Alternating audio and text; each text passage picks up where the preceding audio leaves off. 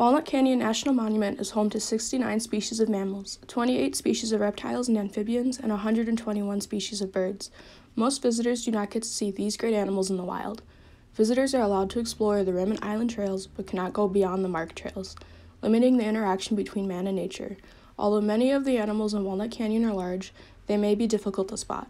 Coyotes, mule deer, elk, and black bears are among Walnut Canyon's biggest animals.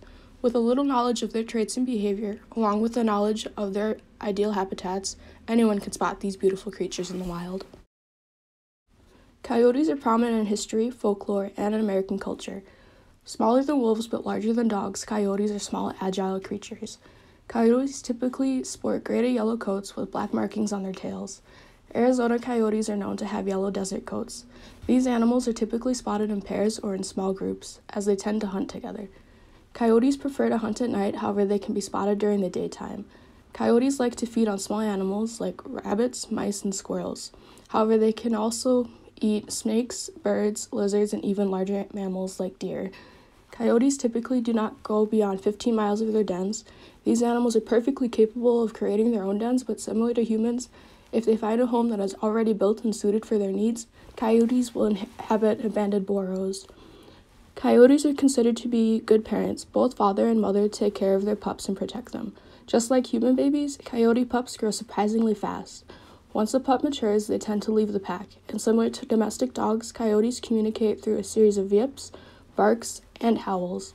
And while they can be heard during the daytime, they are typically heard around dusk when they start to become active. If visitors are around during closing time, they may be able to spot a pack of coyotes. Another large mammal at Walnut Canyon is the mule deer. Mule deer look like any other deer, but their most distinguishing feature are their ears. Mule deer have large ears that move constantly and independently. Think of radar antennas that are trying to get a hold of a signal. Essentially, their ears are doing just that. Their ears are moving to allow the deer to hear better. Most mule deer have a yellow or reddish brown coat during the summer, and in the winter, they have a more gray coat. Their throat patch, rump patch, inside ears, and inside legs are white with portions being cream to tan color. Mule deer have a dark V shaped mark extending from a point between their eyes up towards their ear. This mark is a characteristic of all mule deer, however, it is more distinguished in male deer. Male deer are larger than females, and during the spring, male have antlers.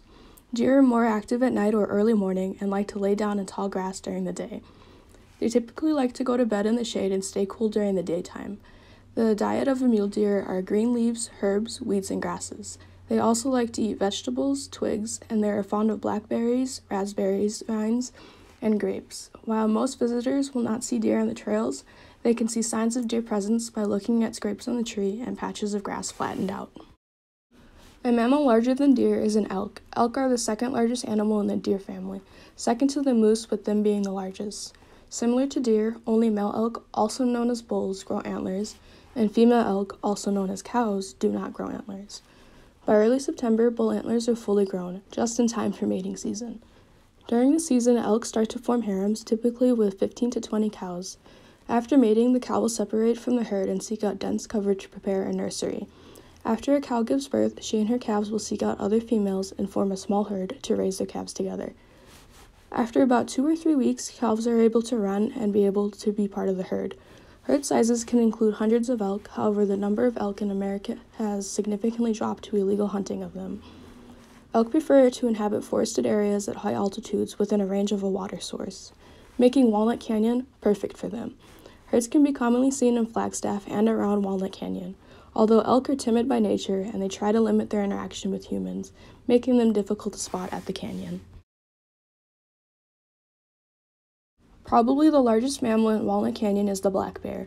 The American black bear is the most common bear in North America, and it is also the smallest. The black bear is the only species of bear still found in Arizona. Typically, black bears are solitary animals, unless it is a mother and her cubs or breeding pairs at a feeding site. Black bears are shy, curious, and intelligent. Numerous stories have been reported of bears coming to campsites at night to find food. And just like bears in cartoons, they use their nail to open up a car window and sneak in to find hidden food. Although you do not hear them entering your vehicle, it is almost like a hurricane came through and destroyed all of your gear. The safest time to camp without bears around is when they hibernate. Generally, black bears hibernate from November through March. Cubs are born during January in winter dens and usually come in pairs. The cubs, along with their mother, emerge from the dens in April and stay with their mothers through the first summer and fall, and then with their mothers through the second winter. Black bears prefer elevations from 4,000 to 10,000 feet in light to heavy forested areas. Again, this makes Walnut Canyon the perfect home for large mammals. If you spot a bear, do not approach them as they will get frightened and attack. Walnut Canyon is home to many large mammals, not just the ones mentioned here today.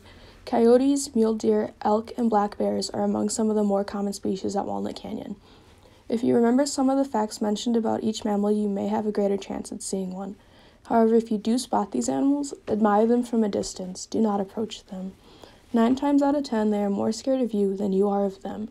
They are also extremely capable of causing serious harm to an individual. Just remember to keep a safe distance from them and not to startle them. I wish you luck with all of your adventures.